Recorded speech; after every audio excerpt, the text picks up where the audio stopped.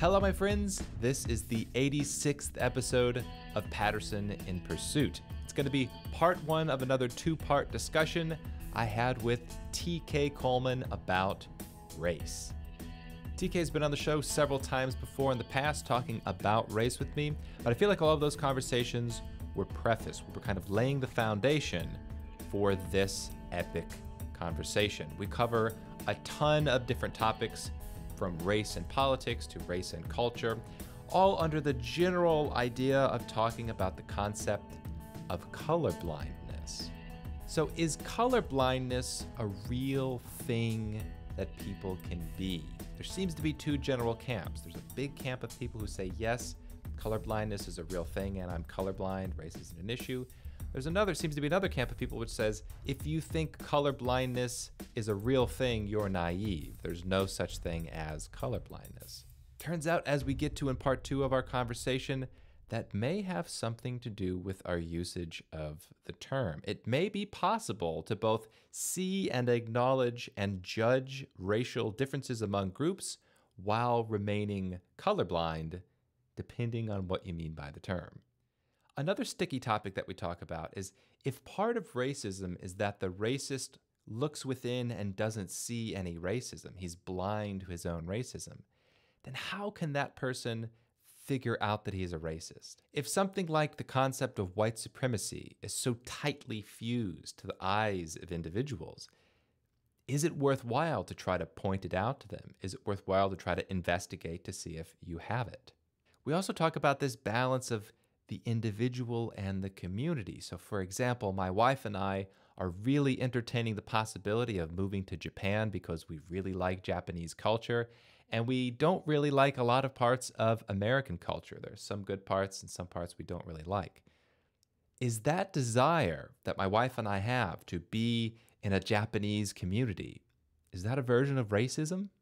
How does it square with a philosophy of rabid individualism that says, I only am going to see and judge people based on their individual differences and not their group identity? How can you at one time acknowledge group differences and evaluate people as individuals at the same time?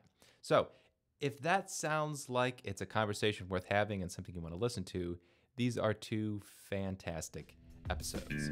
TK Coleman is the education director at Praxis, and he yet again was very generous with his time as I blasted through all of the hard deadlines that we set so that we could continue this fantastic conversation. I hope you guys really enjoy it.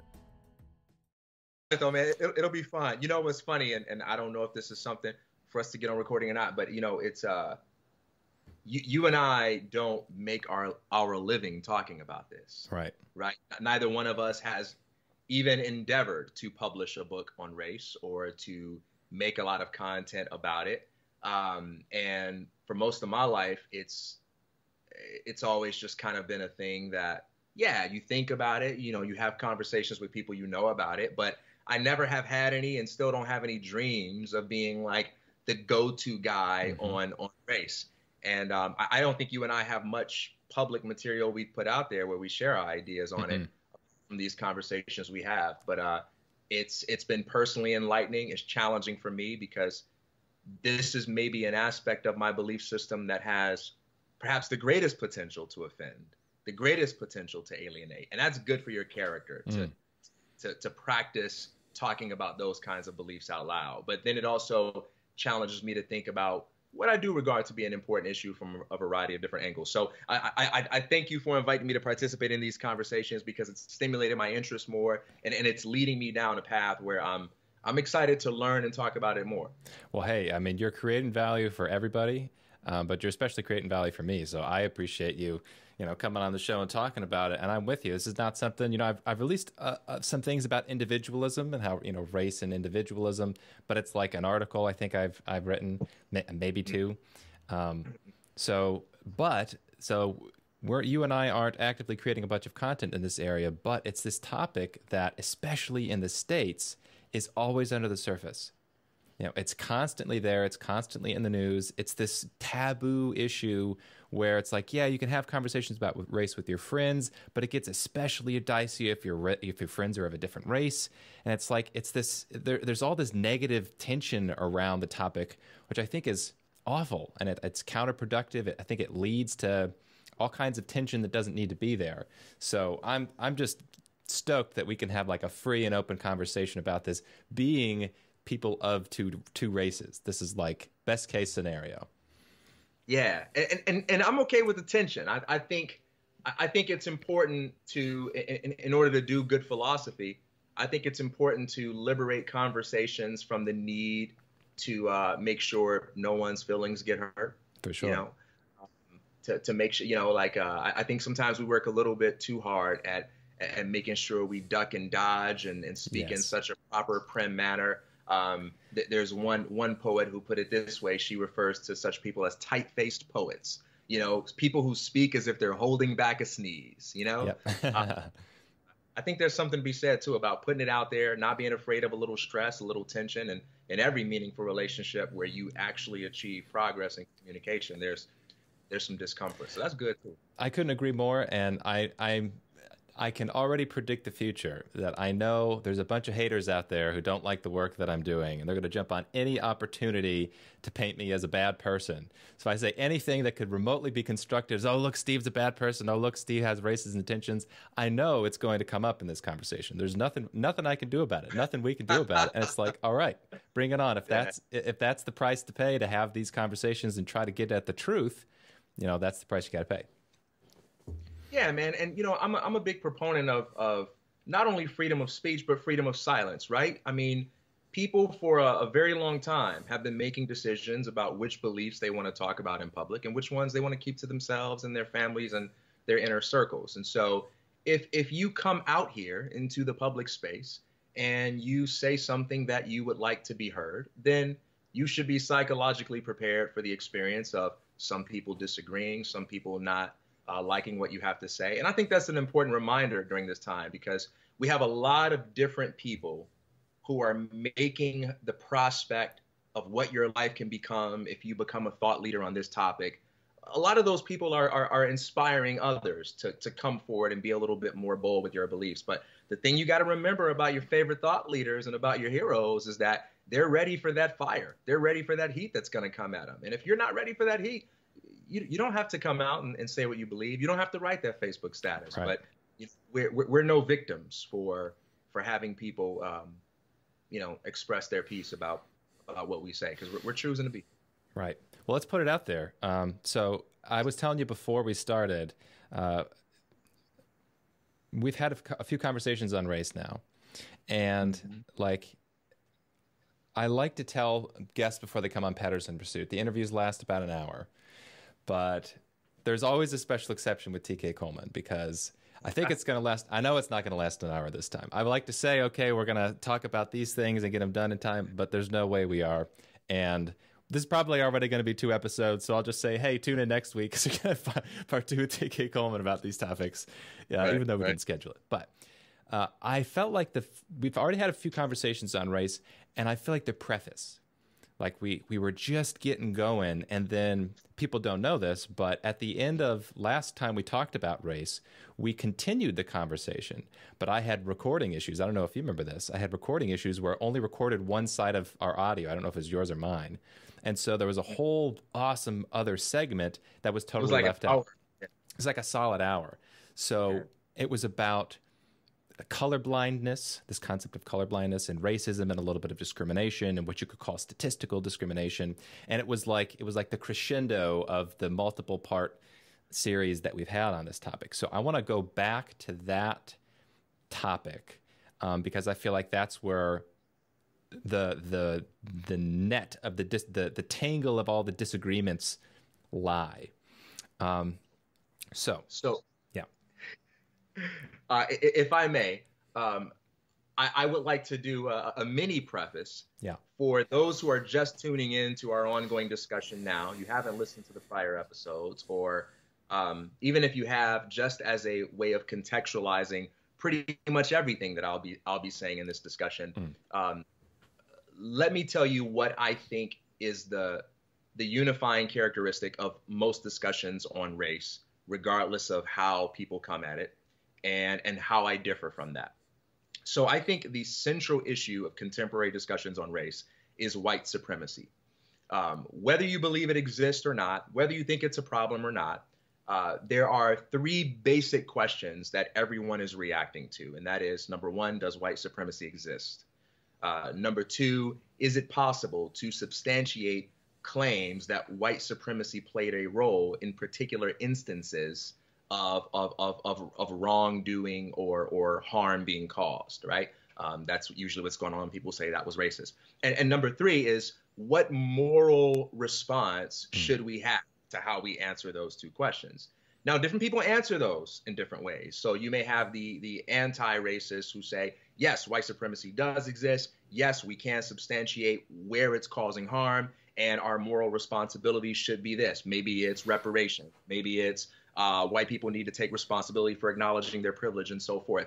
Um, even the race realist would be an example of someone who answered these questions in in the affirmative. So you listen to someone like Jared Taylor, Richard Spencer, they will say things like, uh, "Yeah, white supremacy." Uh, you know, um, or or maybe like white privilege does exist and it's a good thing, and we should try to expand it. And mm. our responsibility is not necessarily to try to uplift black people, but to uh, acknowledge and, and perhaps cultivate a consciousness of our own identity and protect our own interests and so forth and defend our right to do it. And then you may have others who say, no, white supremacy doesn't exist. Um, and the race war is the problem. And if you want to deal with race, stop talking about it, right? Mm-hmm. That may be more like a, a, Larry Elder type approach to it. Um, but all of them agree on those three questions as being the important ones to have a reaction to and, and an informed opinion about. And, and for them, that's the starting point. For me, that's not the starting point. Uh, I do not believe that white supremacy is the starting point for a discussion on race. I believe if you want to get to the bottom of any kind of evil, and I, I, I suppose we're talking about racism because there's a general consensus that racism is evil. Um, if you want to get to the bottom of evil, then I think you have to start at the root. I think you have to start at the foundation, and that is authoritarianism. I believe that authoritarianism is the cause of all evil.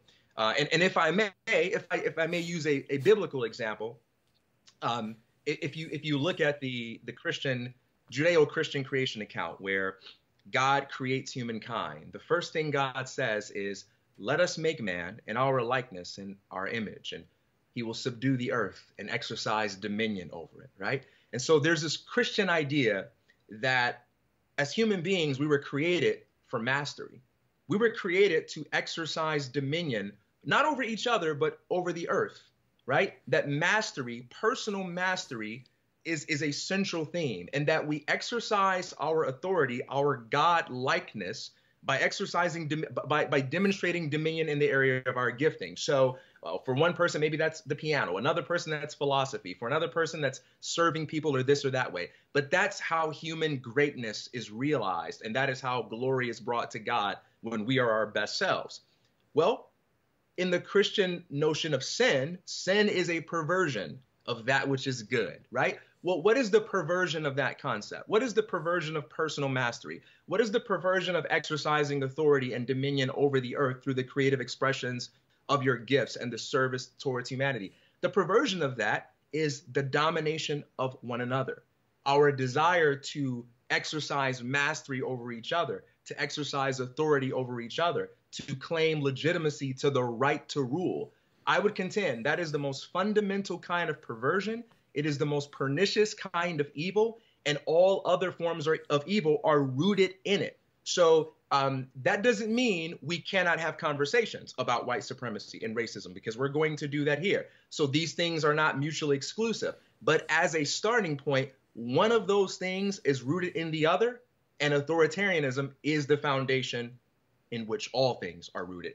So if you really want to fight evil, you've got to deal with that demon. And I think that's less PC. I think that's less safe. Um, I think if you want an easy career in the talking about race game, I say two things you should do is either one, start telling black people to pull up their pants and quit committing crimes and take personal responsibility for their actions, uh, or um, you know, uh, go around trying to get white people to admit that they're privileged. I think that that's easy because even though you'll make a lot of people mad by doing that, you already have a built-in audience of people that will love you, support you, and finance you. Um, but what both of those sides agree on is the legitimacy of using a monopoly on violence to get the other group to fulfill their agendas and live the way they want them to live by force. So we don't have to have a full blown discussion on my political atheism or my, my anarchist views, but I, I want to set that forth as the, the, the conceptual framework from within which I see these things. And I think that's the starting point. I have this urge to say amen. And like, uh, if you're gonna pass around a collection plate, man, I'll put money in. Like, where, when's the Church of TK gonna be a thing? Because that, that was right on, right on point. So, so, now the interesting question is, if I wasn't black, would would you have responded to me uh, as if as if I were sounding like a preacher? I'm just kidding, but fair question. All right, so okay, well, there's a lot there, and I'm sure that's going to come up through the, throughout the course of the conversation. And I agree with pretty pretty much all of that. Um, that really, if you are trying to identify the problem, and I don't even necessarily like calling it evil because I'm not sure what that means, but if you really want to identify the problem, looking at monopolies of violence, looking at governments, looking at individuals forcibly inflicting their will on other people by force of law, I think that is more often than not the culprit. Yeah, and you are my ally to the degree that uh, you are useful to my agenda to undermine authoritarianism and you advocate non authoritarian mm. approaches to human advancement. So I'm all for making black people's lives better. I'm all for everybody making everybody's lives better. But you are my ally to that degree. You know, I think about the movie um, Get Out, and this is a spoiler alert, but you should have seen the movie by now at this point. Um, there's a moment in the film where the black guy and the white girlfriend they're they're pulled over uh, by a white cop. Now the white girlfriend was the one that was driving, right? So he pulls her over and he wants to see the black guy's license. Uh, and and and the you know the, the, the implication here is that the cop is is being you know he, he's fitting that that racist stereotype, and um, you know he he's he's just playing it like whatever whatever you know like and he gives him his license and so forth and and that moment happens, and something comes up and the cop decides to let them go okay whatever. At the end of the movie, the person who literally tries to hijack the black guy's body turns out to be a man that is literally blind. Okay. And um, at one point, the two are having a conversation. The black guy says, Why us? Like, why y'all doing this to us? And he says, Don't don't lump me in with the rest of them.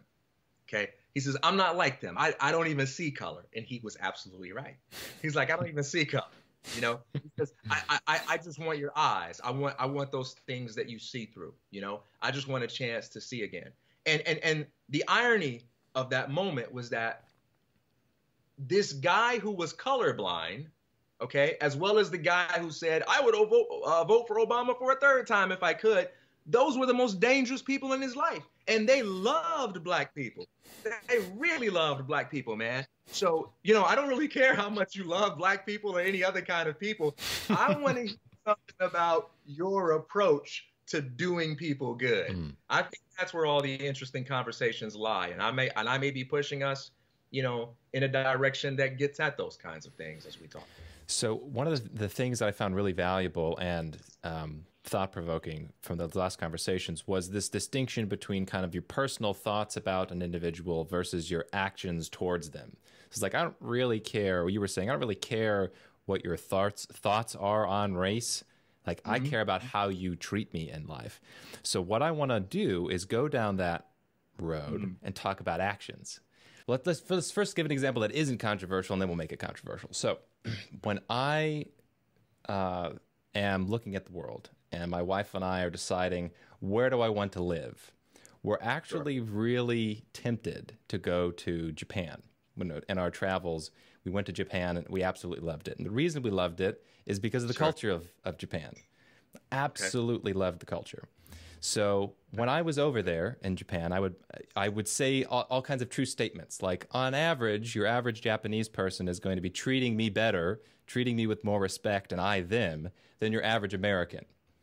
Right. So in general, I'm living in Charleston right now. I've lived in a few places on the East Coast. I mm-hmm. prefer the behavior of people living in Japan to people living in the United States on average. You like Japanese people. I like Japanese people. You could say that, right? now, not controversial.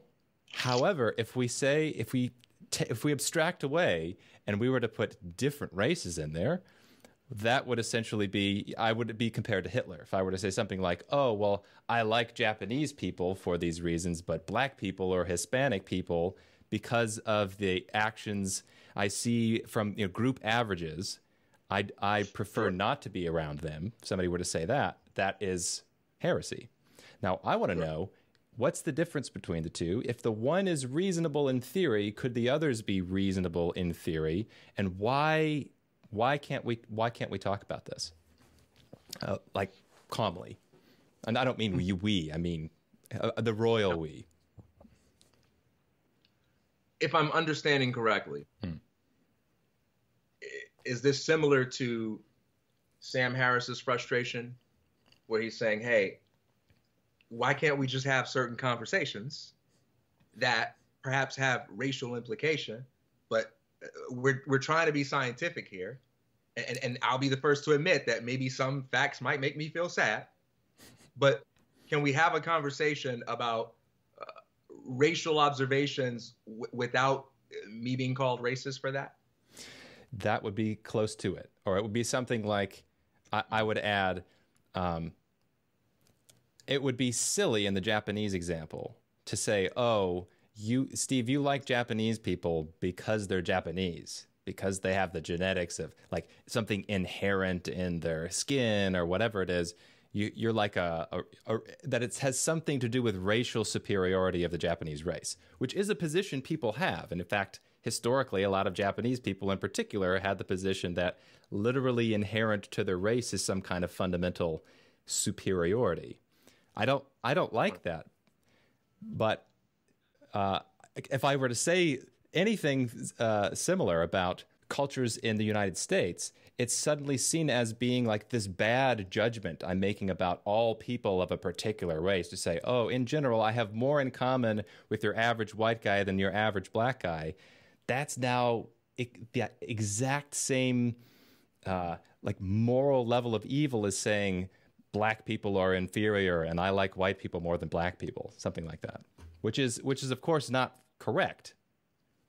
Yeah. So uh, first, I think there's a little nuance we can add to to both situations to kind of I think make it a little bit fairer. First, there are some places you can go where if you're around the right group of people and you say what you just said about loving being around the Japanese more than them, you would sound racist to them. Would you agree with that? Definitely. Yeah. It's just that right now, you're saying that in a context where the people around you don't, don't have anything going on, don't have any historical baggage going on with any comparisons being made between them and the Japanese. Right? It is also true that you can go to just about any race of people, with the exception of whites, and we'll come to that in a moment, in this country, and say positive things about them, and no one will be upset at you. You can go to a black church and you can say, "Man, I just love coming to the black church because y'all really know how to praise the Lord." Like they'll love that. I'm like, "Oh, come on in, Steve." Right?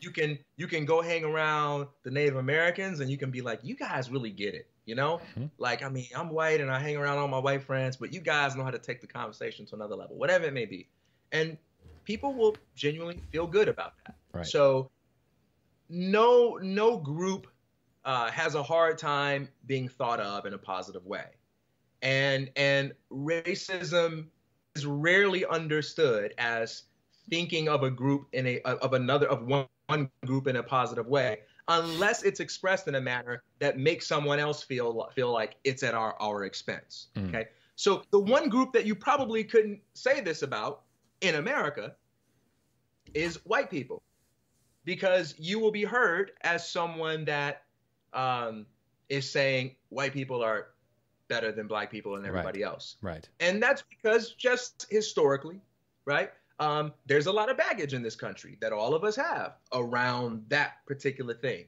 right? It doesn't come out of a vacuum. It's not like, you know, mm-hmm. we're just having a, an all things being equal conversation. So I,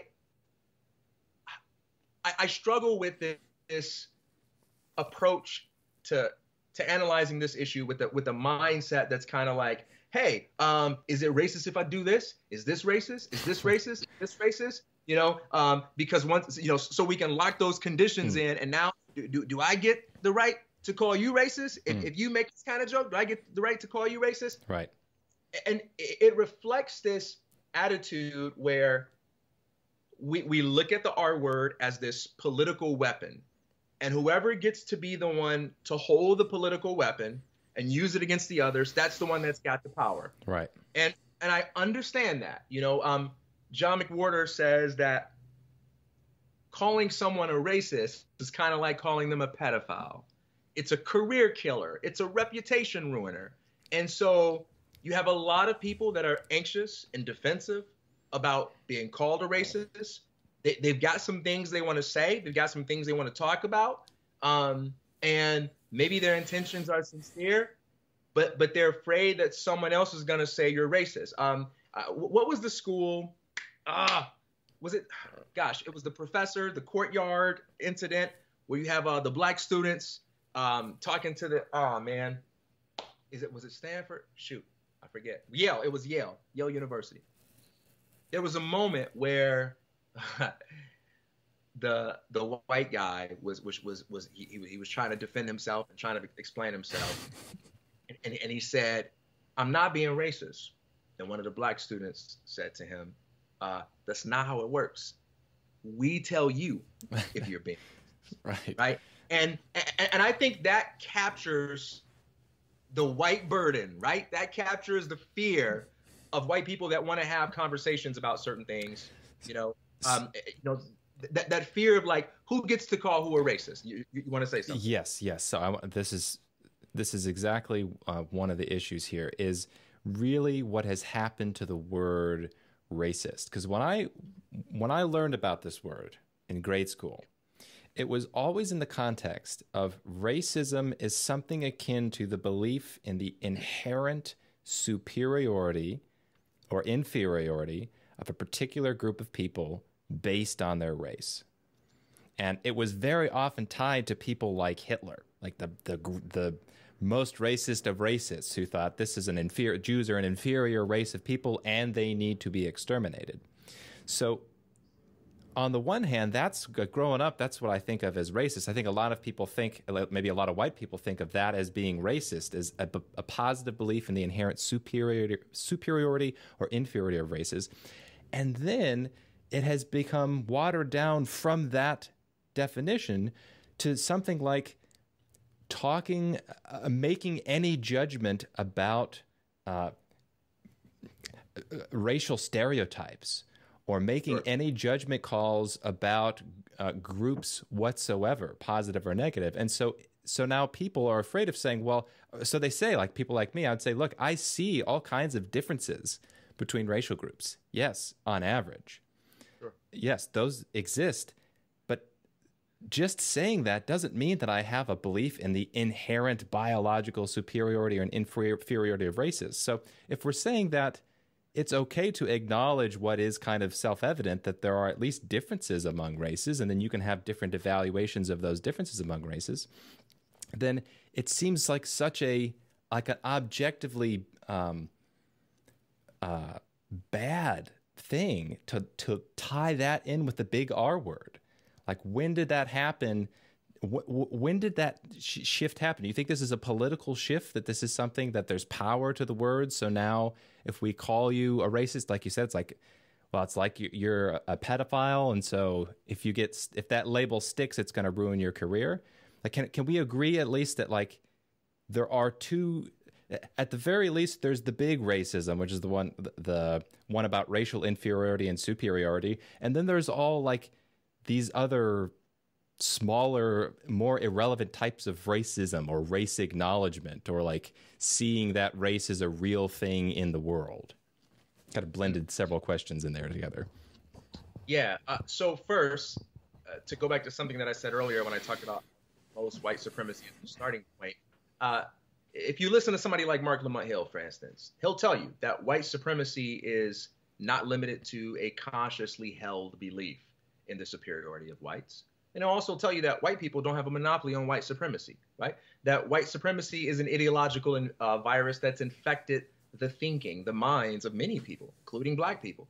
There are black people who hate their blackness. There are black people who are ashamed about of, of them themselves being black uh, because they have been infected by white supremacy. Okay, um, there are people who uh, um, may wish they were white or may want to be white. Okay, um, so it, it, it's not it's not just a matter of racism is uh, you are consciously thinking to yourself, I hate people who are not white.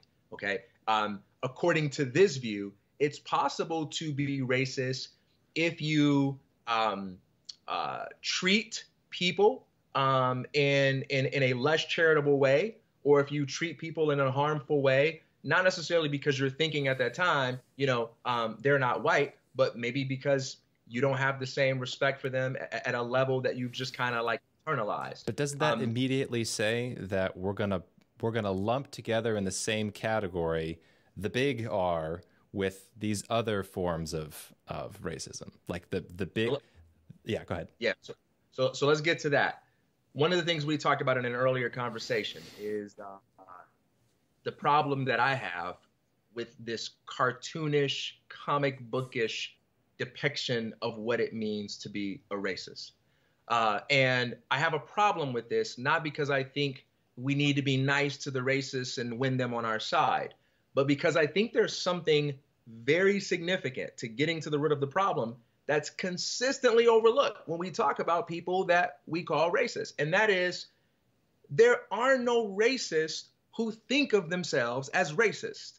Okay? Um, racists always believe themselves to be on the right side of a logical argument. That doesn't mean that they're all good spokespeople for their view. That doesn't mean they can all beat you in an argument or that they will all argue fairly with you. But you show me any example that you take to be racism, and I will show you something that underneath the surface is a lot deeper than someone getting up in the morning and saying, I'm going to find a way to bring the, the black people down. No, there's something deeper there. Uh, and, and, and that is there is a belief that, that this is a rational thing to do, that this is a right thing to do.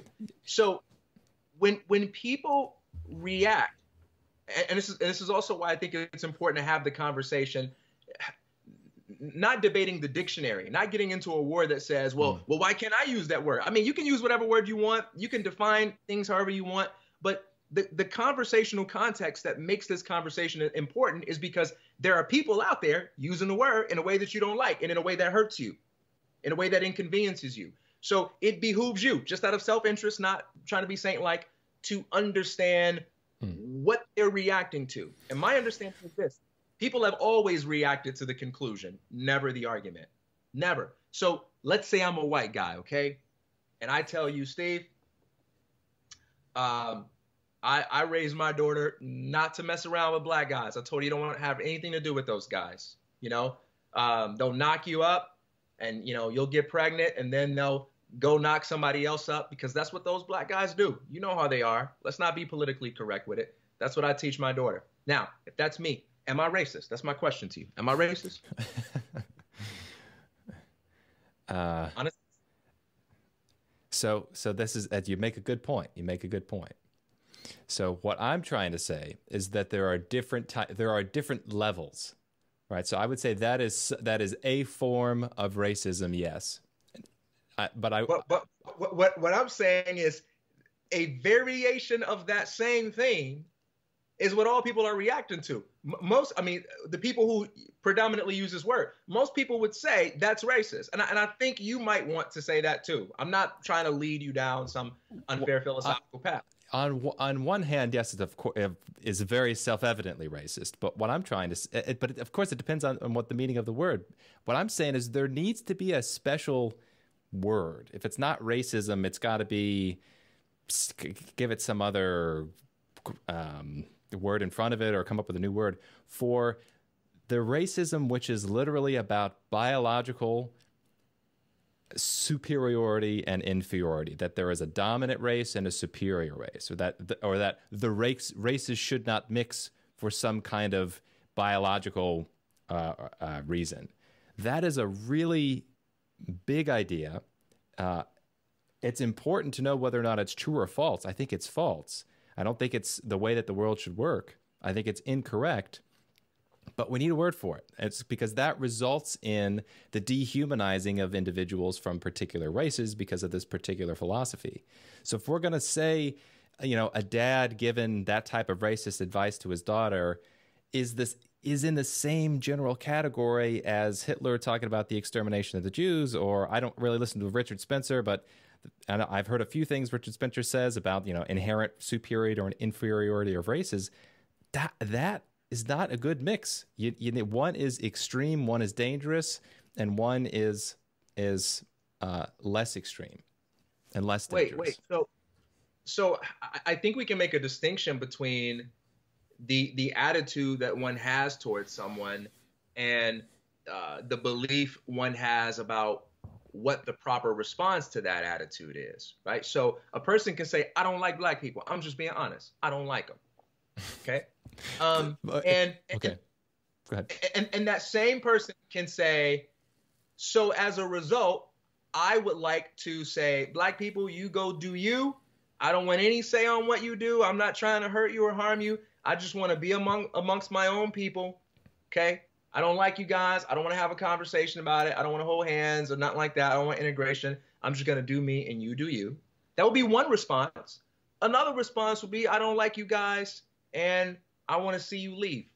Or I don't like you guys and I'm going to try to kill you. Yeah, those are two radically different responses. And we shouldn't treat everybody like they're going to have the same behavioral response to an attitudinal position. But the two things can be separated.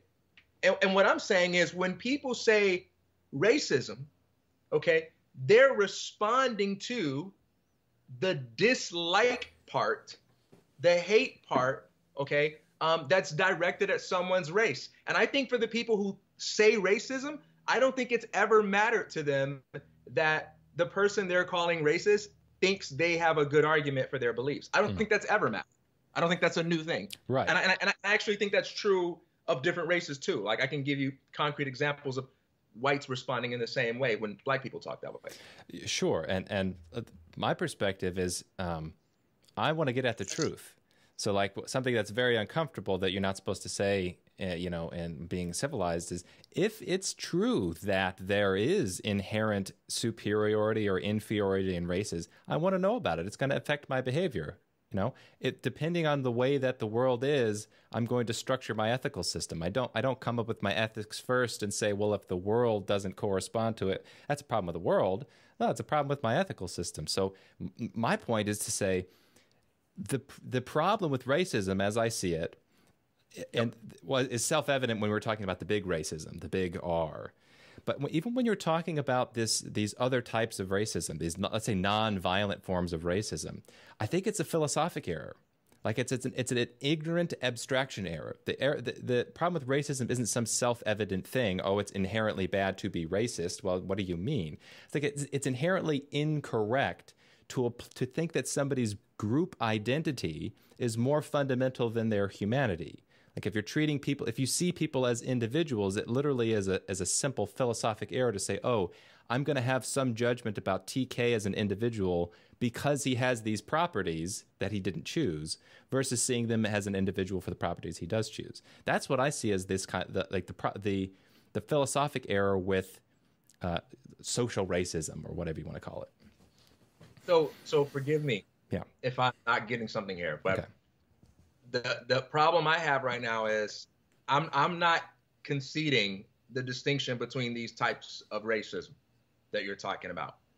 I'm I'm making the claim that for people who allege racism, and I'm not defending them, but I think it's important that if if you feel inconvenienced or negatively affected by the way people use a word. Out of self-interest, it behooves you to have a really good understanding of what they're referring to in their in their in their use mm. of the word, even if you think it's unfair for them to do so. Mm. And what I'm saying is, I think it has pretty consistently always referred to the same thing, even though that same thing might manifest in a dramatic way like Hitler, or it might manifest in a different way. Like some some guys just casually saying, "Hey, you know, I don't like hanging around black people. I don't like hanging around Hispanic people, whatever." And, and, and that is, it's a reaction to the sense that you hate, you dislike, you got something against me because of my skin color. And and and, the fact that those people have arguments or believe they have arguments or believe they, they're logically substantiated in their hatred has never really mattered either way to the people who allege racism. Yeah, I I so I'm not sure I I would agree, agree. So if your position is that these are the way people use the term sometimes, um, I think I agree with that. But the claim is wrong, and it's a big deal that it's wrong for the same reason that um, what's happened to the word violence. So it used to be that violence was something everybody knew what violence was. And then, especially on college campuses, the, the definition of the word started changing. And now violence was saying things that made people feel bad. So we have this very strong connotation that violence is this thing that everywhere and always has to be avoided. Well, I, I should, with caveats. It's a really bad thing, violence and it's it's justified to restrict people's behavior based on potential threats of violence. But then a certain group of people came along and said, "Oh, now when you say these nasty things that hurt my feelings, that's now a form of violence against me because it, it causes me a negative psychological state." Now, yes, that is the way they use the term, but I object. That's a big deal. I don't think it should be okay. I think we should put up a fight and say, no, that's a bad definition of violence. That that takes oh, okay. away the, the power of it. Yeah. Okay, so so uh, when it comes to violence, I agree with you that the goalpost has moved, right? That once upon a time, violence seemed to have meant something along the lines of what you do to a person physically. Um, but then it seems like uh, that boundary expanded a bit, and now it's like violence is you hurt my feelings, mm-hmm. right? I, I, agree. We should contest that, mm. and I believe sometimes it's important. It's important to fight for language, to not merely say, "Oh, this is how people talk. I'm not going to change them. Forget it." Uh, that, that that's an understanding that I'm willing to fight for. That's a word I'm willing to fight for. When I talk about racism, however, again, there is a distinction between the the, the, the psychological disposition and the belief about what sort of reaction response is best. And there has always been a lot of diversity on that. Okay. So there, there are people who most would consider to be racist who weren't for slavery. Mm. Okay, there there are people who you know um, some would consider racist who you know aren't aren't okay with talking smack about black people in public. Okay, or who or who aren't okay with violence. All right, so there can be a lot of diversity within a category of people that might be called racist. But what what unifies them in the eyes of the person that are saying that's saying you're racist, you're racist, you're racist, and I just think it's important to understand where they're coming from. What unifies them is that this person has the sense that you are against me. You're and, and you're against this in particular. Maybe you got your arguments, maybe you don't, but but but I think you're against me. You, you don't you don't like my blackness or you hate my blackness. And I know I'm just speaking in terms mm of blackness, but uh, whatever the race is, you know, yeah. Okay, okay. So this is where this is where I, I guess I am maybe fighting language. I'm not I'm not quite sure. But let me give you an example of a friend that I had that was a, um, a restaurant manager, like a Chick Fil A manager out west, and he lived in a, a, rural rural community, and there weren't many black people there. And he said, I I understand exactly where this guy's coming from.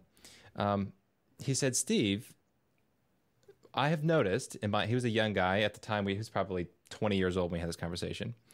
He said that the very worst customers that come into my restaurant are black.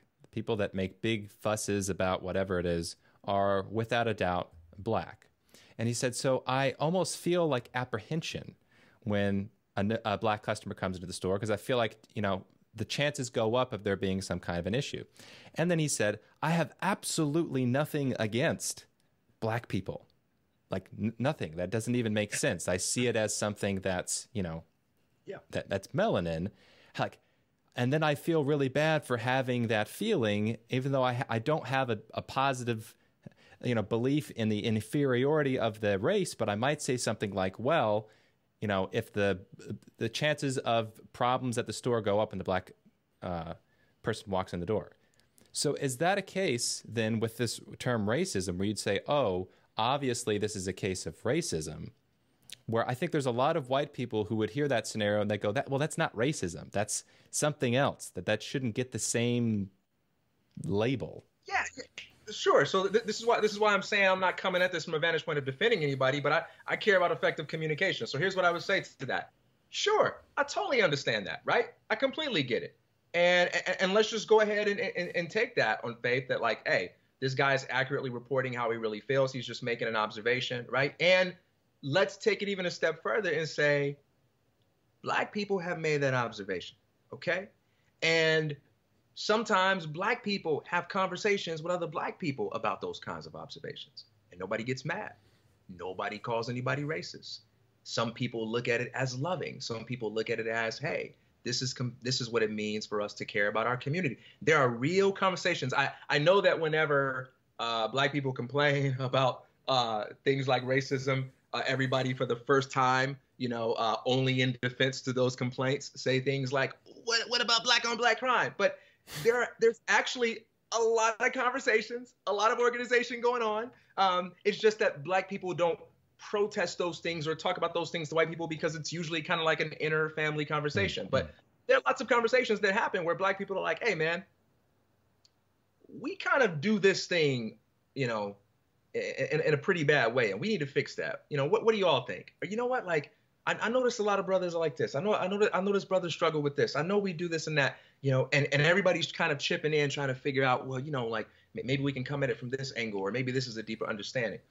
But although I'm telling you all of this, I am the person in the conversation that will not be surprised at all if your friend says that to a group of black people and they get mad. Oh, for sure. And and also, I'm not going to look at your friend as a victim because I'm going to expect your friend to have the social IQ to know that's the response he's going to get, right? But that still and, doesn't. I'm gonna I'm gonna ask your friend. I'm gonna say I'm gonna say, hey man, hey, um, if if your only goal is to keep it real, be right in your own eyes, and speak what you believe to be the truth, come what may, then go ahead, say it. They'll get mad at you, but whatever. You fulfilled your goal. You spoke what you what you thought was the truth, and you know you fulfilled your purpose. However, if your goal is to try to change that reality, and you feel based on your goals that you need their cooperation, um, you might want to rap with me for a few minutes about some ways you want to do that.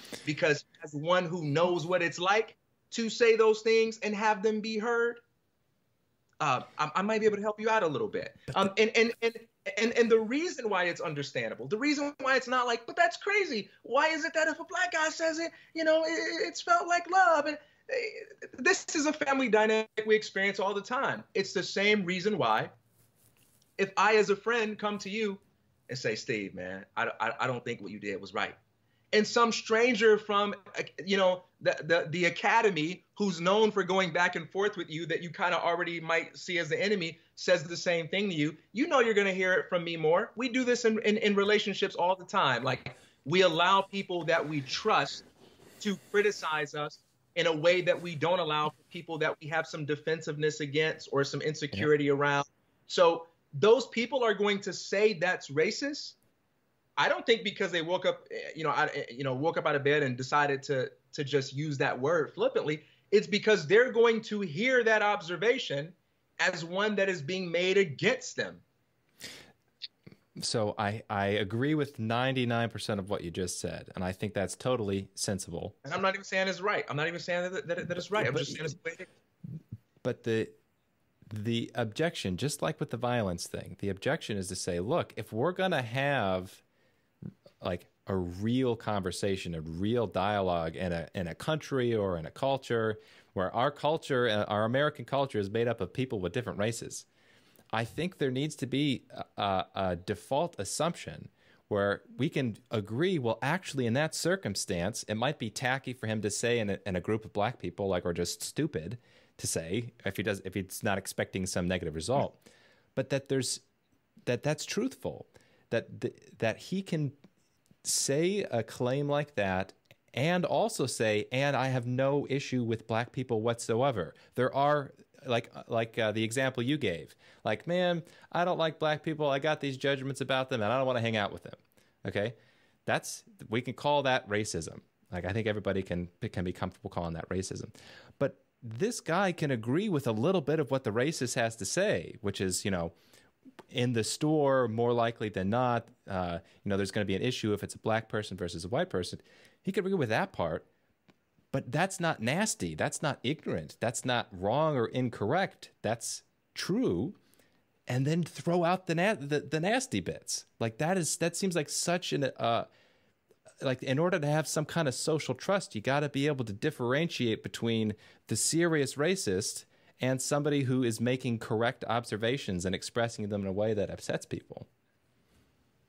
Steve, I have spent a lot of time in, in, in the horrific space of just knowing in my head that what I'm saying is reasonable. Just listen to what I am saying. Listen to the distinction I am making to you. Like, cons- do you agree with this definition? Okay, compare this, compare that. How are those two things any different? And people don't hear me. Right? I've spent a lot of time in that space. And I don't consider myself a victim for ever having spent a second in that space.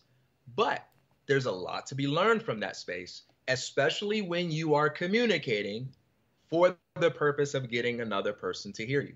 And again, I don't think you always need to communicate with that intent. I'm totally okay with communicating for effect mm. or communicating to keep it real for yourself. But if you are ever going to complain about the way another person reacts to you, that means you care. So you can't be the one to pretend like you don't care, right? That means you want a certain kind of reaction.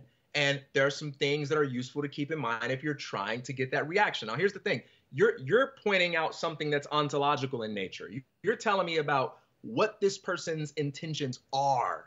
That, that that's in the realm of beingness. But there's an epistemic problem, okay? How am I the person he's talking to? Where do I get my confidence from that he's telling me this because he cares about me? Because here's the thing that doesn't get talked about enough with truth. And I'm not saying the alternative is to lie, but the truth is often used as a weapon as much as it is used as an asset. And if you want to know, if you want to understand why so many people have a hard time admitting that they're wrong, and they're still responsible for not admitting that they're wrong, is because people are assholes a lot of the times when they're right.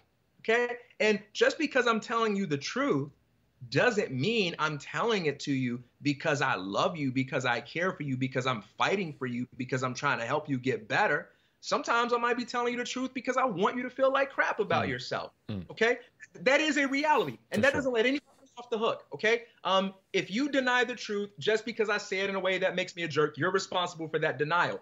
However, if I'm the one that's speaking the truth and I care about my truth being received, then it would be irrational of me. Ding, ding, ding, ding. There's that rationality word. It would be irrational of me. I am a person who doesn't give a damn about the truth if I disregard the following that the person that I'm talking to has more going on in how they receive me than logic alone. They are going to react to things like how much they trust me or what vantage point they think I'm coming from. And if they feel like I'm coming at it from the vantage point of a person that's fighting for them, they will be more receptive of what I have to say. If they feel like I'm an enemy or they're not sure, they're going to be more defensive. And and and don't get it twisted, they might actually accept what I'm saying intellectually, but because of that defensiveness and insecurity, never admit it to me because that's just part of the social game. And it's important to have the social IQ to detect that. So it sounds cheesy, but think about the old John Maxwell quote people don't care how much you know until they know how much you care. You know, um, if you know, I, will use the black on black crime thing I, I talked about, and, and, I'll I'll take white people out of it and put a black person in it. Okay, um, Larry Elder talks about this all. Larry Elder loves to say, okay, that more black people are being killed by each other, all right, than than they are by the police and so forth. You go look at any of these debates, Google Google Larry Elder versus Marc Lamont Hill and watch them debate. They're, they're on a show where the where the topic is about a black person that was recently killed in a in a police brutality incident. That's the topic. That's what they're on the show for. And Larry Elder is persistently bringing it back to no matter how many times this happens and y'all complain about this, more blacks are killing each other. Now, people on the conservative side love that. They accept it, okay? In case you're wondering why most of the black people on the left ain't trying to hear that, is because the general perception. I'm not saying that that that it's okay this way, but I'm just like breaking it down. The general perception is he only brings up black on black crime as a way to silence our complaints, right, about white on black crime. That's the only time he cares about that.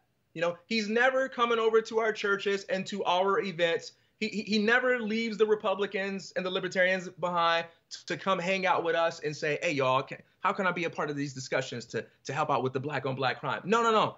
He, he uses that whenever we want to complain about something. It's a great example of how a true observation that people will accept from someone that they perceive to be on their side, they will get super defensive about when they believe another person is bringing it up within a context where their motives are unclear. And, and, when you don't know somebody very well, and it's the first time you're bringing this up to them, you're highly likely to get that. So let me push back a little bit. I'll say the whitest thing ever. Okay. And um, so imagine that the goal is to have a society in which there are good race relations. Actually, Japan's kind of a good example of this. There's a bunch of you know surveys and videos and stuff done. People interviewing minorities in Japan, which you know Japan is like 98% Japanese or something crazy. and so they say, oh, as a you know as a black person in Japan, do you feel a lot of discrimination and or whatever it is, you're Hispanic or whatever? And they go, no, not really. I mean, every every once in a while, you know, people you know want to touch your hair because they've never seen anything like it but people are super polite. I think those uh, it seems to be a much more uh, a much less racist um, culture in in Japan than in the states. But so let's say, say what? No, no, go ahead. Oh, so let's say that the goal is to have a a culture in which there's better race relations. Where people don't don't have that feeling of there being racial tension there wouldn't it be important then to communicate that it might be the case that people's intentions on one side, uh, you know, on, let's say on the white side of the debate, are actually not as bad as maybe a lot of black people are feeling. Right? Like maybe there's a group of people, let's say, let's call them the police or the, the, the institutionalized violence. Yes, I think a lot of people can agree that there is genuine bad intentions there, even sometimes. But when we have conversations about race and we say things like this, we have conversations in in general, even if they don't sound as nice, it's not from a position of ill intent. So wouldn't that be in, important to the to the piece of the puzzle trying to improve like race relations and the culture in a, in a community is that you would want that truth to be communicated? All right, so uh, oh boy, uh, a few things here. First, uh, I'm not sure if the goal that you stated is is the right goal to strive for, but we'll have to come back to that. Mm. Um, secondly, um, I think the the improvement uh, that this distinction brings to the discussion is uh, kind of, sort of, but it also reinforces in the eyes of people who make the allegations of racism uh, what they've been saying all along. So let me let me let me concede the kind of sort of improvement. Mm. Um, in most cases of conflict resolution I involve, uh, I mean in which I am involved, um, I, I, find that it is usually the case that the person who uh, does the offending uh, or who starts the argument or ruffles the feathers, usually their intentions are better than you know how it came out, mm. right? Um, and for the most part, the way you solve that is you kind of take ownership of it and you and you try to get better at, at, at bridging the gap between what we say and what we mean. Communication is just a hard thing. We don't always get this right. That's not a white problem or a race problem, whatever. Uh, it's just a really hard thing. Um, and uh, you can't go a single week without experiencing the reality of that gap. You probably hurt somebody's feelings, made somebody angry, slightly annoyed somebody, or whatever, uh, because you you said something just meaning it straight, right? And and for whatever reason they heard your question or your your statement in, in some other way. That that that happens. And yes, it is always an improvement for people to know that you meant something that's a little bit more innocent than what you might have conveyed.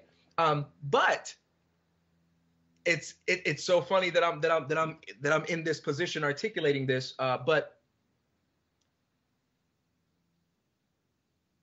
the people that are are and I and and, and I'll concede that there's some diversity in, in, in that movement, but the people that are arguing against white supremacy are are already saying this is why white people don't get it because they're gazing into their souls and saying, uh, I don't mean black people any harm.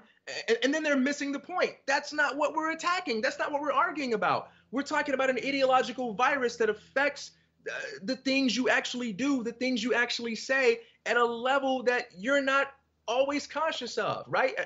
It's it's not it's not that you aren't sincere. It's that the result you're producing is bad. I, I mean, going back to that Get Out example, there were some nice people harming that boy. In, in fact, look, um, there are already many people on the conservative side who say this very thing all the time about liberals, right? All the time. Um, in fact, um, what was it? Um, they, they say all the time that like black people are constantly being duped, taken advantage of, and exploited by people that are really good at saying things like, I feel your pain. I know what you guys are going through. Why did Thomas Sowell feel the need to say that we have to measure a policy by its effects rather than its intentions? Why does that need to be said? It needs to be said because people really are affected by their perception of, of intentions. And, and there really are people in the world who mean well, okay, and they do us harm all the time. So, so I, I, I think I can a- appeal to common sense here and say, if you truly disagree with this, let me know and maybe we can debate it. But I don't think there's anybody out there that's going to disagree with the fact that the road to hell, as the saying goes, is uh, is paved with sincere intentions. That many people are sincerely trying to do you good and they're just screwing things up. You know, so, so go ahead. You, you don't have to hate people in your heart you know you can think of yourself as a good person and you can be against me or you can be against us. I think that's how the argument would go. So in that circumstance let's say that there is this type of white supremac- uh, supremacism that is subconscious. If that's true that's a big deal. I mean that's absolutely a big deal and it needs to be talked about. But how is one supposed to challenge it if the claim is oh by challenging it you've affirmed it like if the claim is you have this thing about your psychology that you say isn't there and you don't see it. And if you deny it, it's just because you don't see it. That seems like a, a very hard argument to try to rebut. Yeah, if I'm understanding you correctly, you're saying, hey, look, um, I, I, I don't believe that white supremacy exists.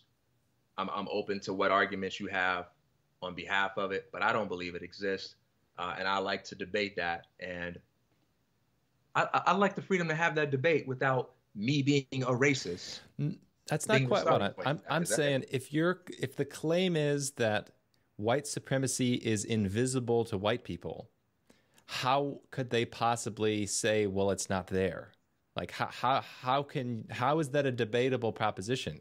Like, I want to talk about it. Maybe it's, I'll treat it as an empirical possibility, but I'm saying if I can't see it, how am I supposed to get it? Well, two things. So first, the, the claim is not that it's invisible to white people. Remember, the, the claim about white supremacy is that everybody's infected by it. Okay. Um, so it's a it's an ideological virus that is spread across, you know, to different people. There are black people that are affected by but, white but, supremacy. But how do they see it? How do the how do the white how do the theorists about white supremacy yeah. see the thing that nobody else can yeah. see? So, so I, th- I, I think I, I think one thing that could be said is, look, maybe invisible is the wrong word, but but rather this is something that can exist alongside sincere intentions. So I'll, I'll give you an example. Um, I love my dog. Okay, I love my dog more than I love you. and, and, and, and, and have you met people who feel that way about their dog? yeah. Have, have you met people who love their dog more than they love a human being? Uh-huh. Yeah. Who do you think has a better chance at sitting at my dinner table? You or my dog?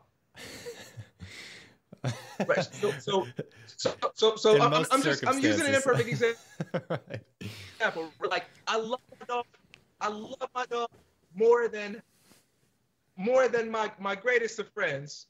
But yet, a man who is my enemy, I will allow him to stand face to face with me and relate to me in ways that I will never allow my dog. And the restrictions that I place on my dog don't come from a place of consciously held hate.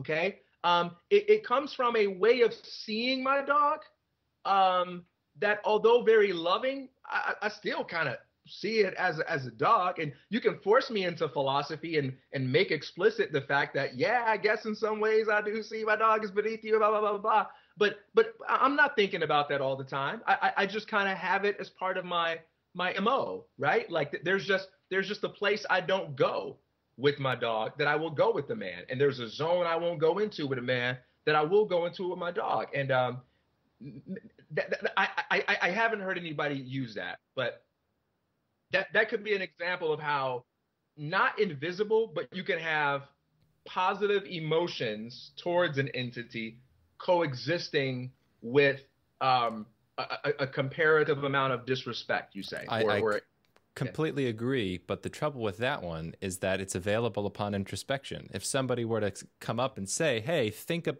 actually think about." Your beliefs about your dog, actually think about your treatment, think about these different scenarios. You wouldn't let your dog at the dinner table. Then everybody could introspect and go, oh, yeah, of course that's there. Yeah, I guess that's funny. I use the same term, I love my dog, but I, I actually have these distinctions. But in this circumstance. And there are, and there are some white people who claim to have done that and now they believe yes. in white supremacy yeah, and they call them yes anti-racist. absolutely and i those Uh, so white supremacy is a thing, and I think it. My claim would be, I think it's an observable thing. Like I think I've I've met people who are white supremacists who could see and acknowledge and accept that, and maybe feel bad about it.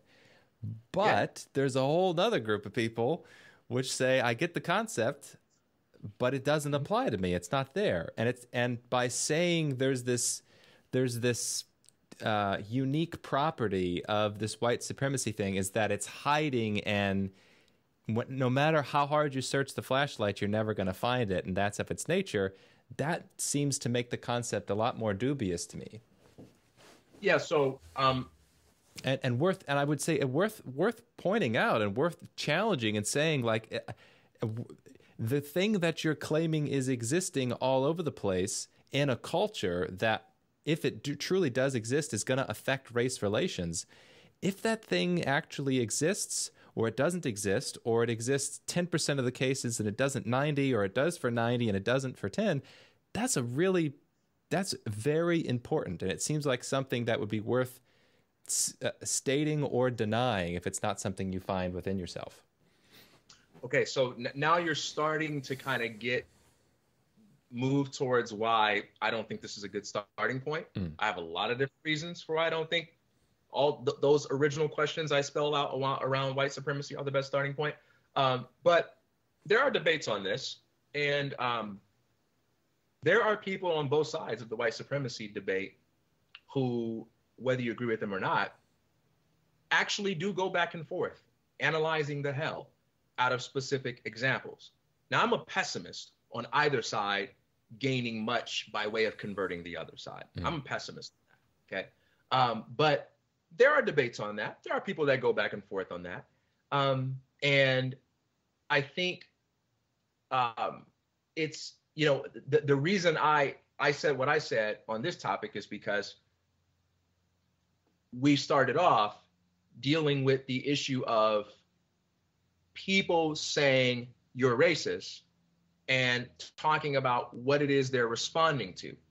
And, and, and I think it's very important to understand that when people say you're racist, it's typically irrelevant to those people that you think you are being logical in what it is you're saying. They're, they're, they're not reacting to the internal logic that led you to make the observation you're making. They're reacting to a combination of whatever conclusion you have and, and, and the emotional experience they're having of you using that conclusion against them. I think that's a useful thing to understand. when you're communicating. That that's not an argument for anything about white supremacy. Um, but I, I mean, I don't know where you want to go with that, but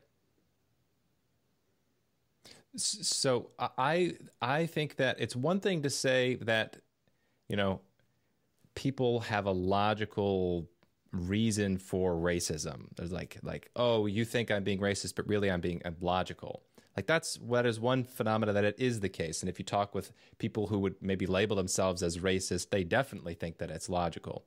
I'm saying something different, which is that this this underlying motivation that oh, like you were saying before, oh, you're treating me this way because you don't like my skin color, or you don't like this race, or this uh, yeah, this property that I have that I didn't choose. That's something that's I think important to communicate to say that's actually not what's going on. Like I'm not just lying to you and and saying, "Oh, I don't have those intentions." It's actually not there. It's there for some people, and some people will maybe lie about it, and some people probably will say it rather freely.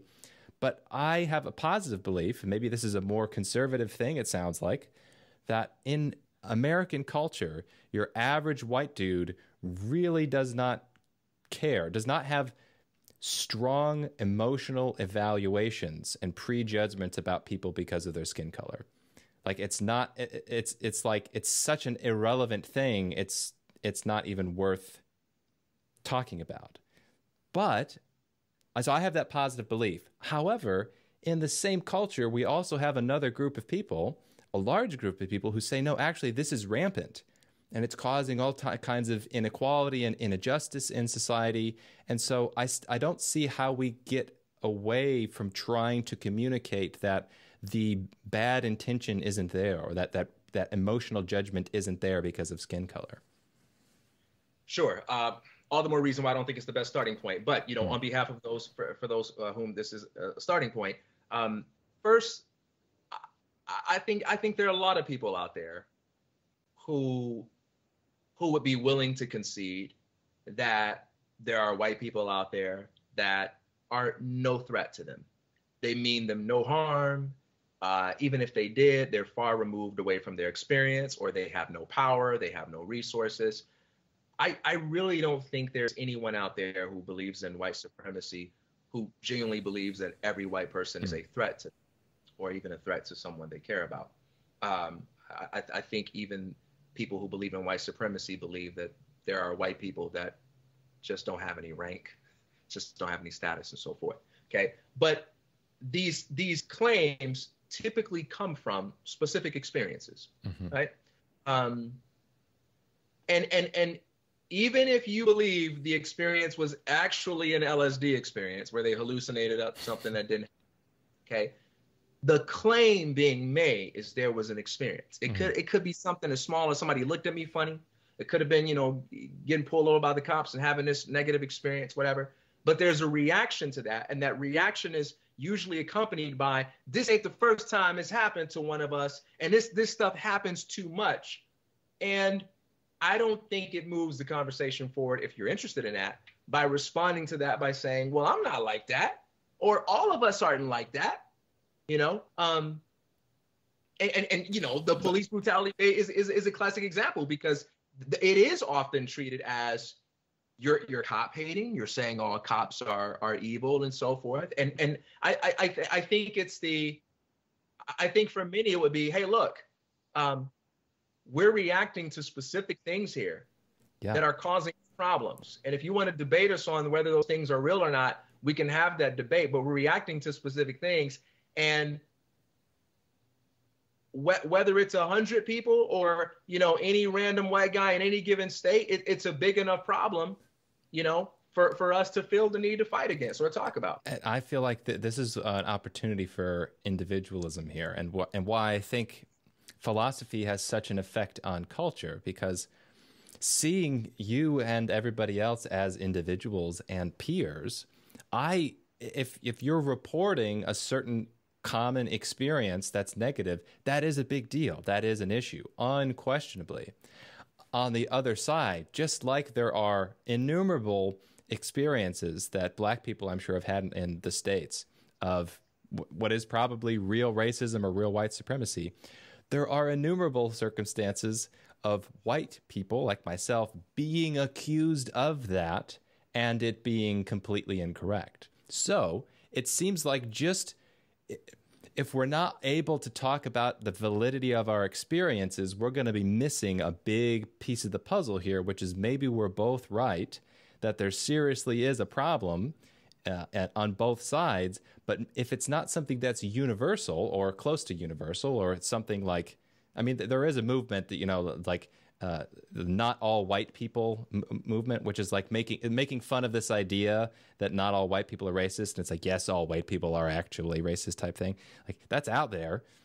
It, it's a really big idea as peers if we're communicating the information to say, hey, look, I recognize what you're going through is a real thing, but I don't think it's systemic. If I think it's systemic when you're talking about the police, I really do. I have I've, I've looked at the evidence. I think that it's pretty nasty had some connections with people in the police force. It's pretty nasty, and of course, it's tied to government. So I, I think there's a huge problem there. But in terms of like our culture at large, I really don't think it is. And I think it's a bit, and I think that's that is a bit of information that's so important. I want all of my black peers to know that. Like I, I really, I think that would greatly improve their lives and our mutual lives together. Do you think that's naive? Mm. I, am not gonna say it's naive. It, I have to think about it for a while. It's it's not my battle. It's it's it's not it's not a battle that I'm interested in fighting. Um, I I know for me personally, um, at a fundamental level, I I believe that it's important to be a pessimist about the wrong things so that you can be an optimist about the right things, right? So, for instance, uh, I'm a pessimist about the idea that there are people in this world who are going to knock themselves out trying to figure out a way to make TK Coleman successful, right? I'm a pessimist. I think if I drop dead right now, besides my mom and like five other people, nobody would give a damn. Out of all the people who do give a damn, they'd be over it in two weeks, more focused on what they're going to eat for lunch, right? So I'm a pessimist on that. And that makes me an optimist on, you know, what I need to do to make my dreams come true. That makes me an optimist on things like hard work, personal responsibility, and so forth. So I've got things that I'm a pessimist pessimist about, but that doesn't make me discouraged or depressed. It makes me an optimist about different things. I place my hope in those things. I personally, lots of people disagree with me on this, but I personally am a pessimist on minorities convincing white people of anything about the way they experience the world. And I'm a pessimist on white people convincing minorities of anything about the way they see the world, at least when it comes to this issue of race. I believe that people of different races can learn all sorts of things from each other. Uh, but out of all the discussions on race I've observed, I've participated in, and so forth, I think it's so heavily politicized. I think there's so much baggage around it. Yeah, I know. I know there are testimonies of people that said, but I participated in a conversation. I read, you know, Ta-Nehisi Coates' book and it changed my life. I, I get that. I get there are people like that. But I think there is a pretty low ceiling for what is attainable through that pro through that approach. Um, and that's not the equivalent of stop talking about race because people are going to talk about it whether I want them to or not. I'm going to talk about it. It's entertaining. It's interesting. Why not? Um, and because I don't put race on the pedestal, I'm not threatened by the discussion. I'm not threatened by having to admit that some things are are about race. I'm not threatened by having to concede that some things are not. Like has zero political implication for me.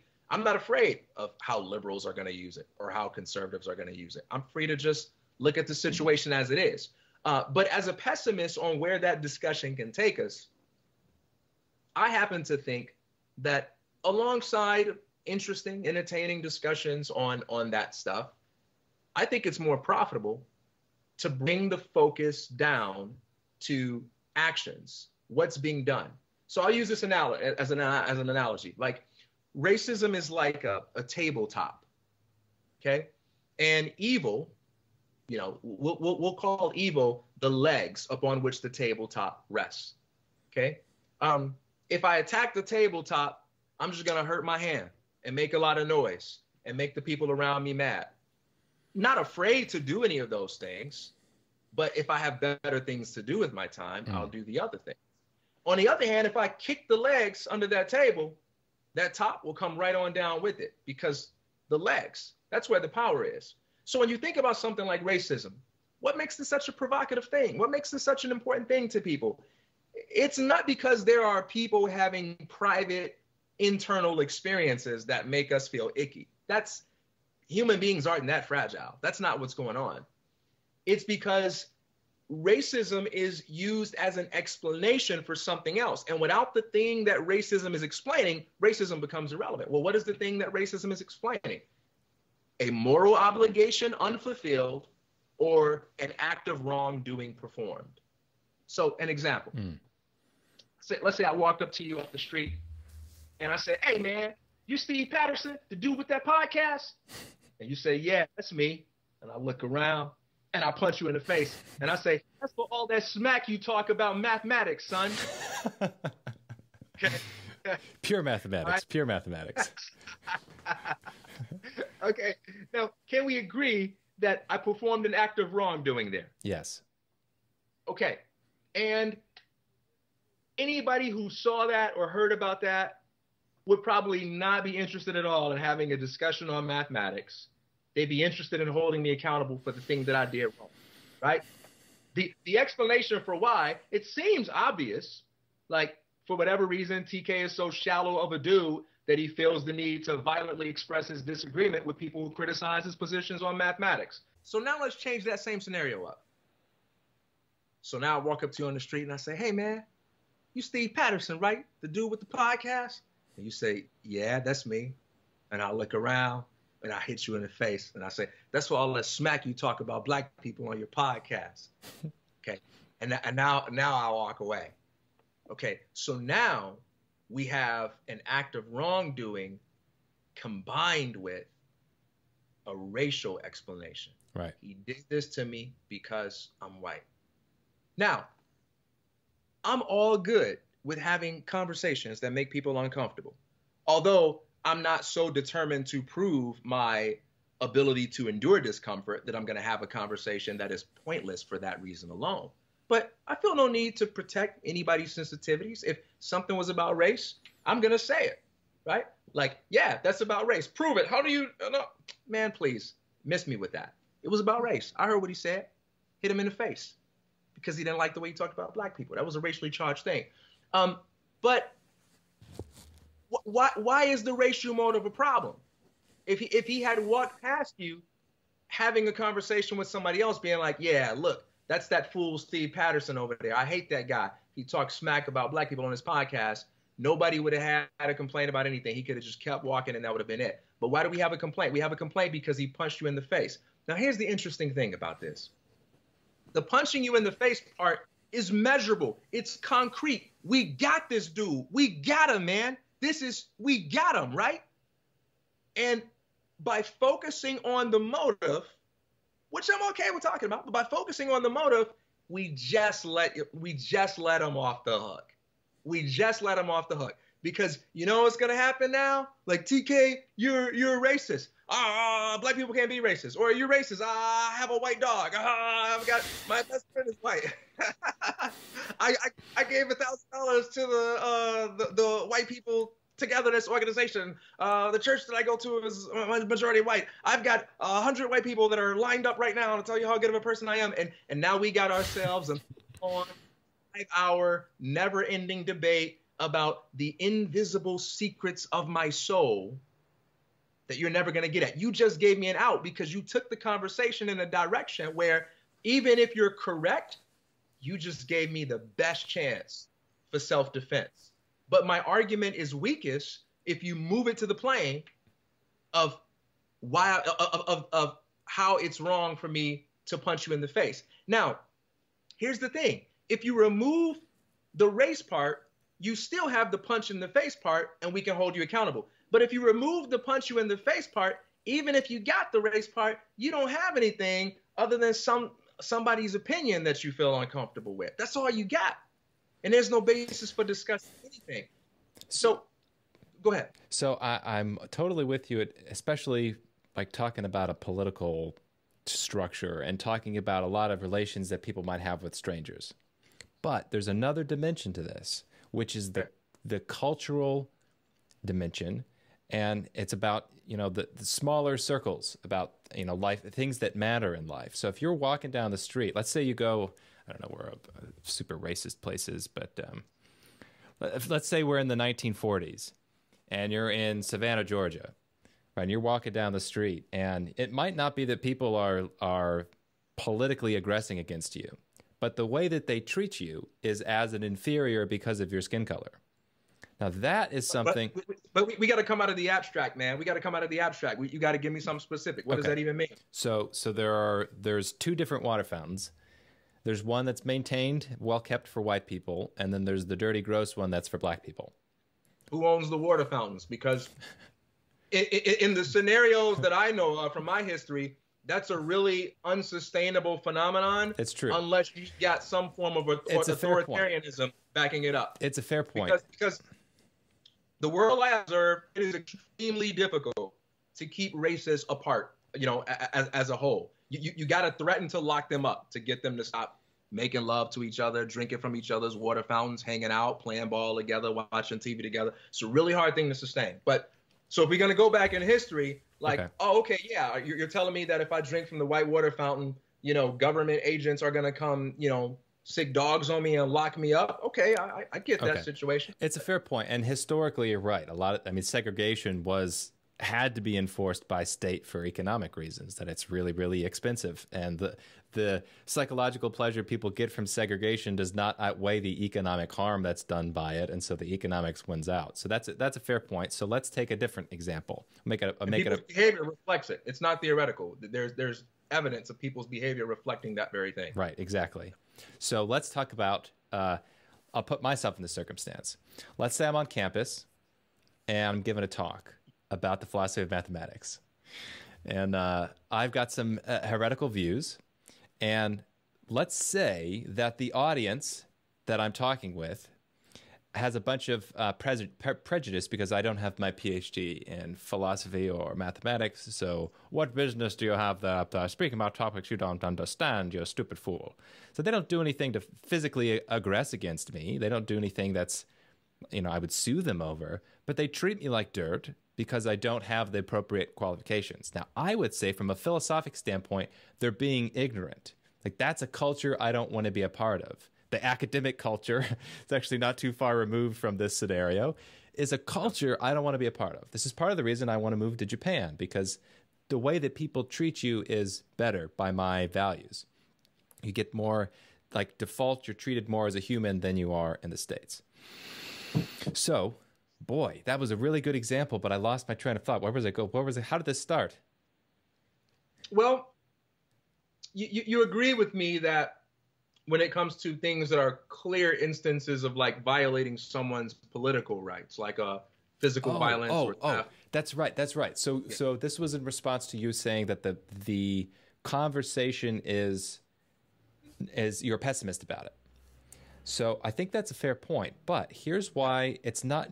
I don't think we should just focus on the political. It's because the cultural really matters in terms of your standard of living, in terms of how you experience the world, the way that other people treat you for the properties that you have is a very big deal. So if if what is being claimed is that in my culture that I live in, the people I'm around have a psychological bias against me because of my skin color, that's a big deal. Like uh, that's something that needs to be talked about. It needs to be sorted out, and it needs to be addressed with the people that you think are, eh, you know, have that that problematic psychology, that psychology that's negatively affecting your your worldview. So why? So if I think that the uh, the academic example is a good one, where it's like I feel, I think I am justified in criticizing the psychology of your average snobby academic. And I am also justified in, I think, in criticizing the culture of higher ed for purely philosophic reasons being dogmatic. So if that's okay, if I can make those criticisms and have those conversations, then why wouldn't it be okay to talk about race, whether or not white supremacy is a real thing in society that's from either either perspective, the black or the white perspective. So you picked a very good example because this is something that you do right now, right? You do talk about professors this way. You do criticize them this way. And you have some of them who like you and respect you. They still come on your show. But uh, correct me if I'm wrong. You've got you've got some professors who blocked you on Facebook. You've got some professors who called you like terrible names. You've got some professors who would never look you in the eye. Uh, you have like little niche cliques of professors that, if they ever saw your downfall, they would absolutely love it. Some will think you're a snob. Some will think you're a hack and you're not a true intellectual, right? And you've made your peace with that because you know that you're that that's one of the costs to be expected with your opinion. And even though you think they're being unfair, you also know that's one of the social costs to bear. You don't feel like a victim about it. I never hear you cry and complain about it. You just find a way to cope with it by making fun of them, by criticizing them more, by using it to, you know, incorporate into your marketing and so forth. And, and you have carved out your space in the world where you got the people that get you and support what you do, and you're doing your thing right? And you do criticize those professors and you accept what comes with it. Um, so all that's possible. Um, I don't think we need to have a conversation about anything. You can have a conversation. Again, I'm not the guy that's like, I'm not Morgan Freeman. I'm not I'm not saying stop talking about race and it'll go away. I don't think that's true. Right? I don't think I don't think not talking about something makes it go away, you know. But you can talk about it all you want. But I'm saying do you need to have a conversation with academics, uh, getting them to approve of your decision to to operate outside of their academies? Do, do, do you need them to accept your arguments as valid in order to make them and rally up the troops that are on your side? Do you need them to accept as logical your right to, to remove yourself from their community and do your own thing? Not at all. You don't need to have a conversation with them at all. You can criticize them for their unwillingness to have it, but you can do whatever you want to do. That's true. However, in my closer social circles, I also want a call. I want an intellectual community. I want to be a. I want the the romantic academy. Like when I went to, went into college, thinking it was going to be filled with a bunch of intellectuals. That's what I want. And I want to be around that. So I do want to have conversations with people who are consider themselves intellectuals and who have an issue with what I'm doing. They need to sort through that because I can demonstrate that actually you can be a real intellectual outside the academy. That kind of uh, bigotry, I'd say this is a, a, type of prejudice and bigotry, is just ignorant. It's not based in reality. It's not based in the facts. So I, I want more people in my uh, social circle who are open minded about that. I think it's the same thing with race. If there's a serious problem in your community, in your culture, with and you think a particular group of people are treating you poorly because they're bigoted, I think it needs to be brought up. And if the reality of the circumstance is that they're not treating you poorly because they aren't bigots, that's also a big deal. That also needs to be brought up. That's why I don't I don't see how this kind of problem can be avoided without talking about it. If you're talking about my intentions because they're affecting you as a participant in the culture, seems like we got to be talking about my intentions. All right. So first, I don't think any problem should be avoided. I, I, I think I think every problem should be confronted directly and I think you should process it, think about it intelligently, and formulate some informed opinions about what you think the best reaction and response to that problem is. And sometimes that involves having conversations with other people about it. Sometimes it doesn't. Okay. Um, I, I, don't think having a conversation with people um, is necessarily the only way or preferred way to confront a problem. Right.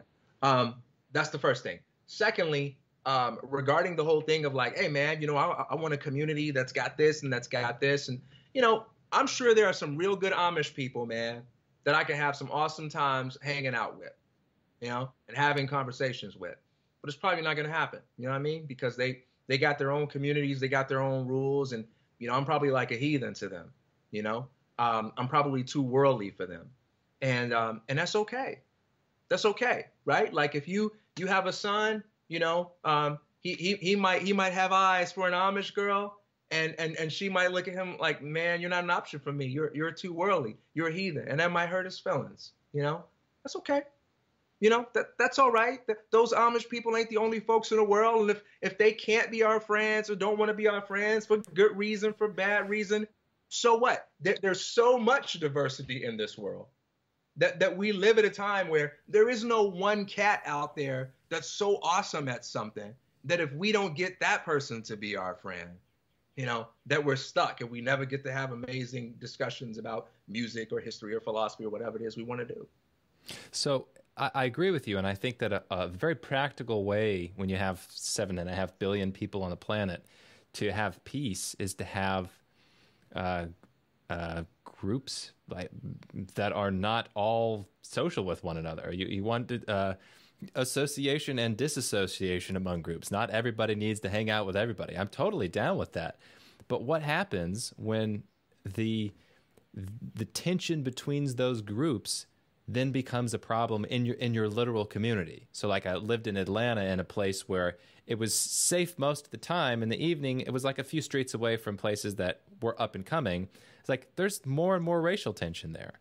You know, it's it it becomes an actual issue that is not just like, oh hey, you're gonna do your thing, I'm gonna do my thing. It's like, no, we our our futures are kind of geographically you know we're we're put together we're interacting with one another another reason by the way why I want to go to Japan is because when you have most people in a dominant culture over there, it doesn't really matter where you are. There's not there shouldn't be a lot of you know stupid tension about any of that crap. It's like you don't even yeah. have to deal with it. Yeah. Yeah. So so first, I, I believe that what you're describing is a macro version of what we're all dealing with all the time at a micro level. I, I think you just described the nature of the social game. If you expand the, the tension producing elements beyond race. It is the nature of the social game that at all times we find ourselves in environments, whether they be ideological, religious, cultural, social, what have you, where there is some sense of that that space being uncomfortable for us, unsafe for us, or tense for us. And social IQ is about learning how to navigate it. So anytime you're in that kind of situation, race not being an, ex- an exception, you got three options. Number one, you formulate your get out plan, right? I don't like this place. I hate this place. I hate the way it feels. I got the same rights as anybody else to get out. Um, I'm going to formulate my plan if I don't have the power to execute it right now. Two is you formulate your protect myself to the best of my ability plan. And that can go along in conjunction with, with one, or it can be a substitute for one. Nope, I like it here. I'm not going somewhere else. I got every right to stay here but I'm going to get my stuff together so that to the best of my ability, I can make sure that I experience as little harm as possible from these tension producing elements. Three, you can say, you know what? I don't want to leave and I don't want to alienate myself from the people in this community or adopt a defensive approach. I I got to immerse myself into this and I got to I, I got to win the room. I got to win the room.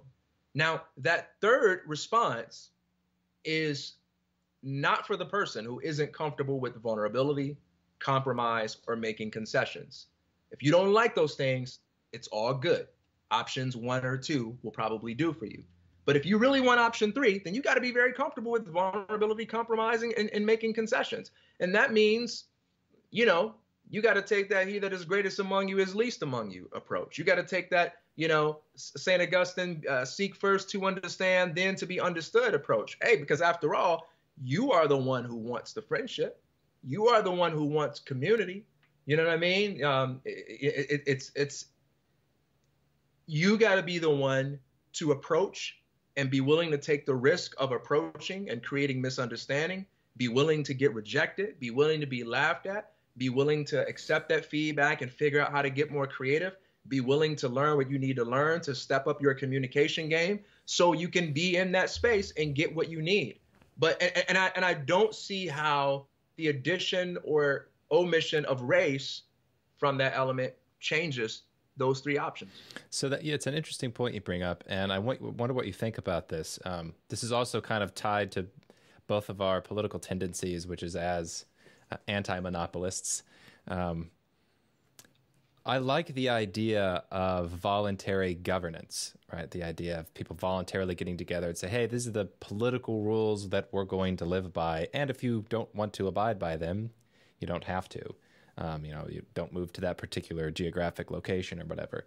I wonder if, if what I'm part of my internal tension about this issue is that I really want a culture that's kind of arrived at through this voluntary means whereby biological features are essentially irrelevant.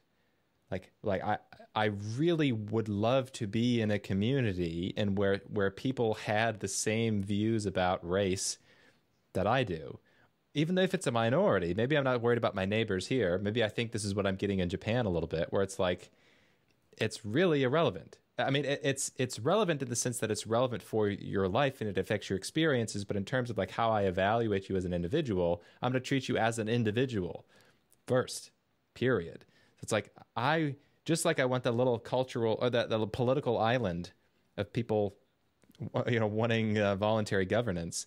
Maybe this is what this is coming down to: is the solution is to have voluntary cultural norms, where it's like rather than fighting racism and and engaging in this discussion about is it white supremacy, is it not white supremacy, is it racism, is it not, blah blah blah blah. Just be like, hey, you guys have your argument. I'm gonna go seek out the people who are not going to bother with this.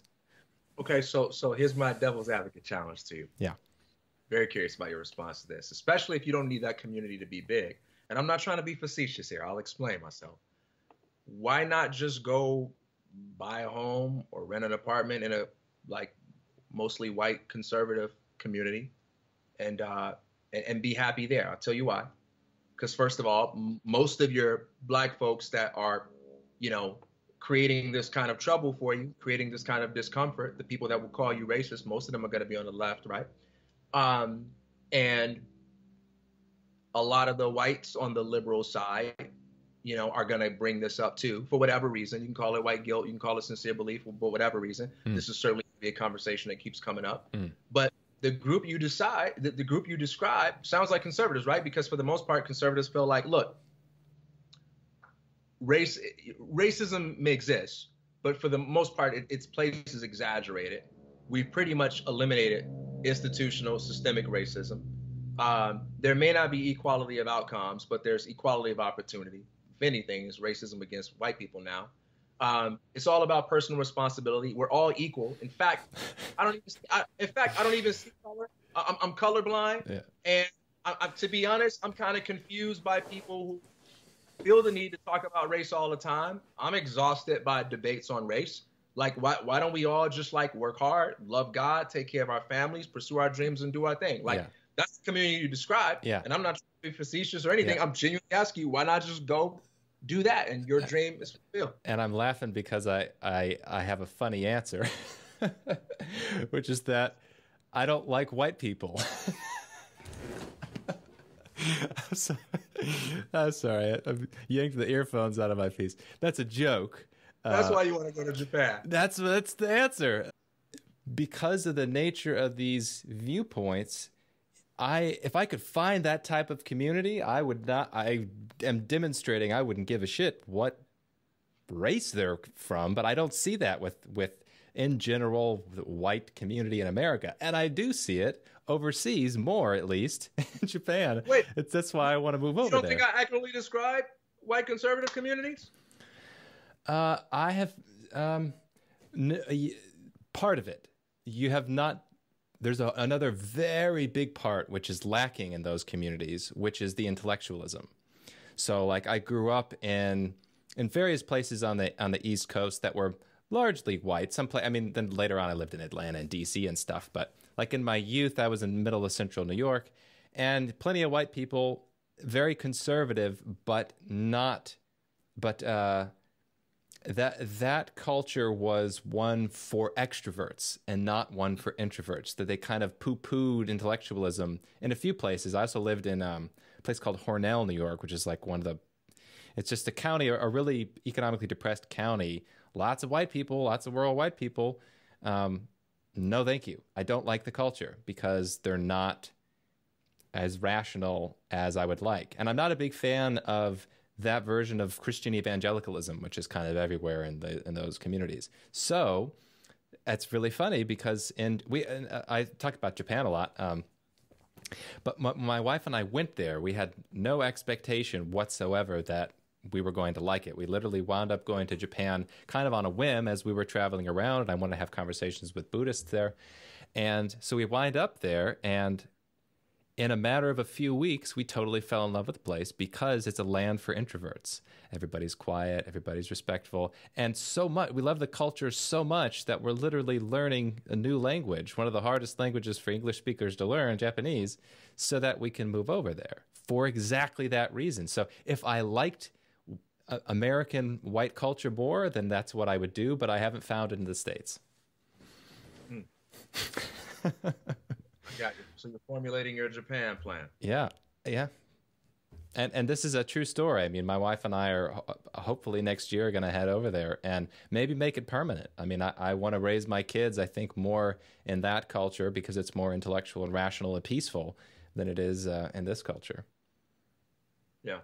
Well, uh, I, I, think I, I, understand that, and, and I think that's consistent with the three options I laid out. But but I think the three options I laid out are not just a, a suggestion for you or any kind of devil's advocate thing. I, I think it strikes at the heart of um, of, of, of a very large uh, a very large part of the solution. All right, that was part one of my conversation with TK Coleman. I hope you guys enjoyed it, and we'll tune in next week for part two, episode 87, where we focus, we have a, a large section where we focus specifically on the word color blindness. What really does that mean? But that's all I've got for you today. I'll see you guys next week.